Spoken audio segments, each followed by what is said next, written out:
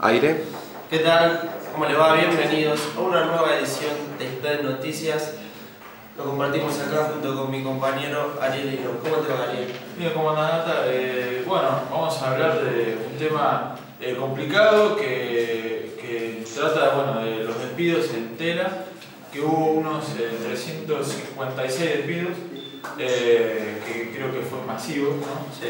y bueno, y problemático a la vez porque recordemos que bueno, no es fácil que, te avisen, ¿no? Y de la manera que se avisó eh, los despidos, ¿no?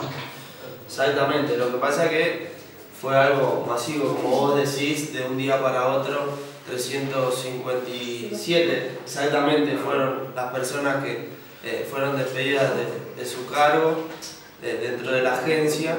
eh, sin, sin previo aviso, ¿no? O sea, Claro. de un día para otro te enterás que te quedas sin laburo y obviamente no, no es buena la reacción que vas a tener. Eh, lo curioso es que para las personas que se quedaron con, con el trabajo, se quedaron dentro, dentro de la agencia, eh, recibieron un mail con como que se, Sí, sí. una nueva empresa. Claro, como la- le daban la Le daban bienvenida la bienvenida. al- a la nueva empresa de, Exactamente. de tela, ¿no? Bueno, después eh, la sala B de la Cámara Nacional de Apelaciones ratificó el fallo para que 5 de los 500, cin- eh, perdón, de los 357 despedidos puedan reintegrarse a lo que es la agencia, porque la agencia no cumplió con los requisitos de despido.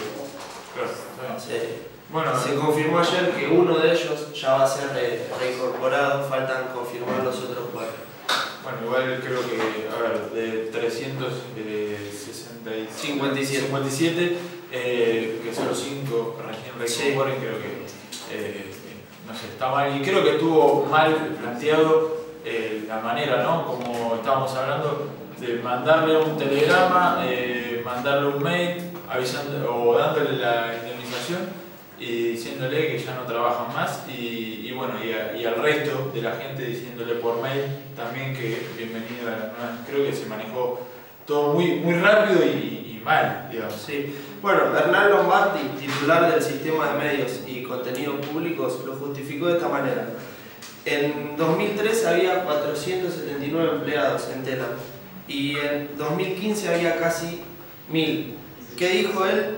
Que eh, había perdón, ¿eh? Necesidades de duplicar, la, que no había necesidad de duplicar la planta de empleados, que fue una superpoblación, que por eso fue eh, el hecho de despedir a tanta gente. Claro, bueno, eh, pongámosle que, que- que tiene razón, ¿no? Pero creo que, a ver, lo vuelvo a repetir, ¿no? O sea, no es la manera, ¿se entiende? Porque no, yo entiendo que quizás tengas una superpoblación de trabajadores y demás, pero de la manera que se hizo está mal. Por, por eso después vienen los problemas de las Sí, quejas. sí, la, la manera que se hizo está mal. Ahora vamos al punto. ¿Para vos está bien lo que sucedió? No. ¿Por qué no? Creo que sí, pero a ver, yo te vuelvo, te, te vuelvo a repetir, ¿no? Eh, a ver, creo que está bien, digamos, eh, al contrario, ¿no? Pero está bien, digamos, despedir a cierta cantidad de personas por, porque son muchísimos, pero no, no de la forma, ¿se entiende? No, la forma, eh, yo coincido que no, pero yo estoy totalmente de acuerdo con, con los despidos de, de esta agencia. Porque si hubo una superpoblación, si había personas que iban y cobraban un sueldo por no hacer nada, me parece totalmente justo que, que los despidan. No, bueno, está bien. Esto viene pasando pero- no solo en esta agencia, sino que viene pasando en muchas áreas. Sí, en Pero bueno, en en Argentina. muchos lugares, pero creo que después queremos tratar de que la gente no se queje y demás, pero haciendo estas cosas seguimos eh, armando, eh, como quien dice, que seguimos armando lío en el país con, con gente que se reúne para, en un lugar para cortar las calles y demás, haciendo esto que se hizo. Bueno, pero eso me parece que ya queda más en la gente, ¿no? Sí. Si ellos saben que su puesto de trabajo eh, no, no están cumpliendo con los requisitos, no tendrían por qué cobrar un sueldo. Me parece que a, a eso es lo que apuntó Hernán Lombardi y me parece correcto. Sí, bueno, pero yo te vuelvo a repetir, creo que es general, desde la manera que se hizo, es generar eh, mucho más problemas en el país y, y después queremos, eh, como, como decían, eh, pobreza cero y demás, Pero bueno, así creo que no se puede. Pero Bueno, bueno, eso es la pobreza que dejarlo para, para el presidente. Bueno, llegamos al final del programa. sí, sí, dale. Así que bueno, nos encontramos la próxima semana. Hasta luego.